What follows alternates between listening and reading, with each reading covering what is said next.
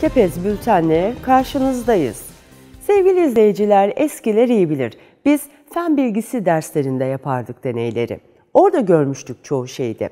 Şimdiki çocuklarsa çok şanslı. İşte Antalya Bilim Merkezi'nin mucitleri.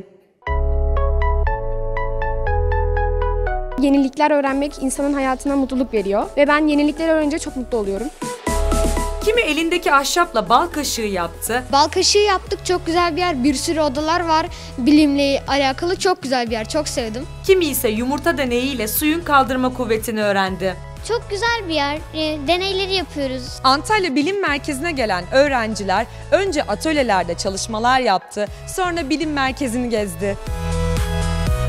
Benim hayalim astronom olmak. Antalya Bilim Merkezi'nin bana bu konuda yardımcı olacağını düşünüyorum. Bilim merkezi herkesin hayallerini gerçekleştirebilir. Hakan Tutuncu'ya teşekkür ederiz. Antalya Bilim Merkezi'ni gezen öğretmenlerse geleceğin bilim insanlarının burada yetişeceğini söyledi. Aziz Sancarların ya da ünlü fizikçilerin buradan yetişeceğini düşünüyorum. Valla ben çok beğendim. Özellikle bu dersimle ilgili kısım çok güzeldi. Şimdi burayı da görünce çocuklar için çok güzel bir yer olmuş. Anne babalar için de büyük bir şans. Antalya'da olmayanlar bence biraz üzülebilirler.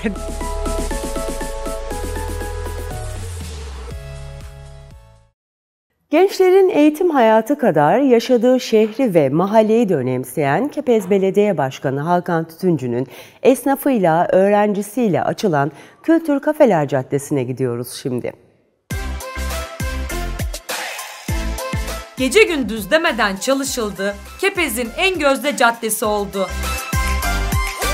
Kültür Mahallesi'nde üniversite öğrencilerine yönelik işletmelerin bulunduğu cadde yeni görünümüne kavuştu.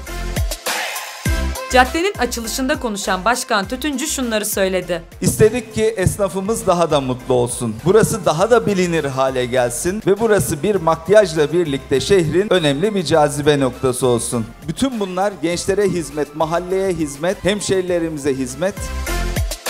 Açılışın ardından konser etkinliğiyle üniversiteli gençler ve mahalle sakinleri gönüllerince eğlenme imkanı buldu.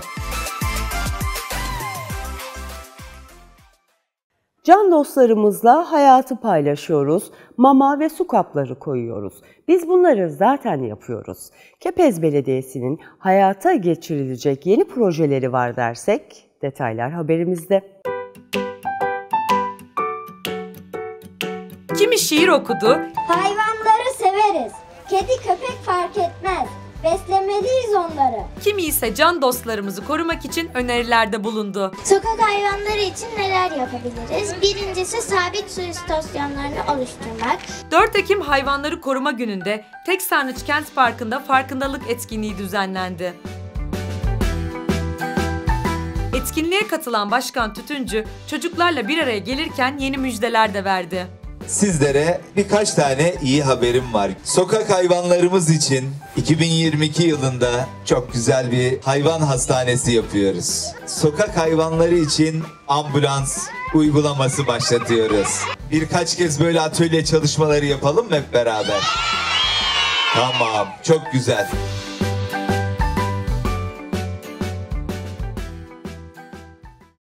Bazen kendimizi dinlemek, kendimize zaman ayırmak gerekiyor.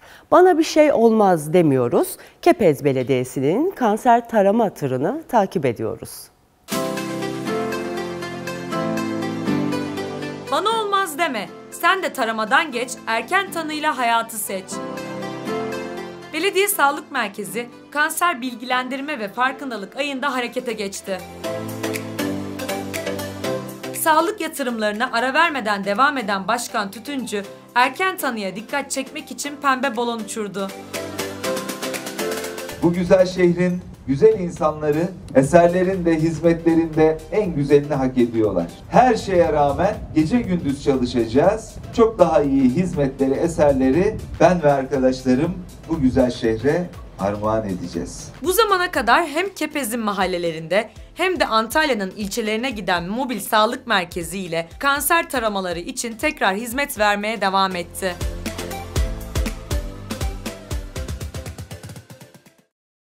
Kadınların olduğu her yer güzeldir, elinin değdiği her yer bereketlenir. İşte girişimci ve güçlü kadınların renkli festivaline gidiyoruz şimdi.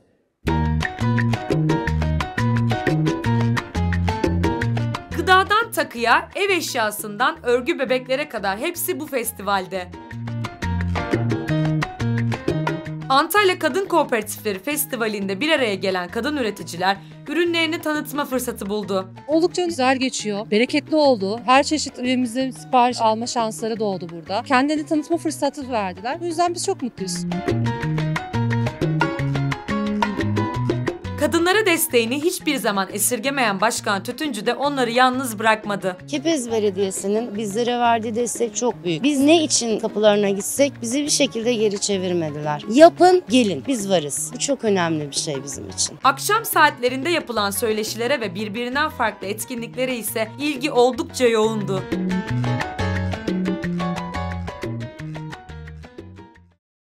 Sevgili izleyiciler bu haberimizle birlikte Kepez Bülten'in sonuna geldik. Yayınlarımızı ve gündemi sosyal medya hesaplarımızdan takip edebilirsiniz. Haftaya görüşmek dileğiyle, hoşçakalın.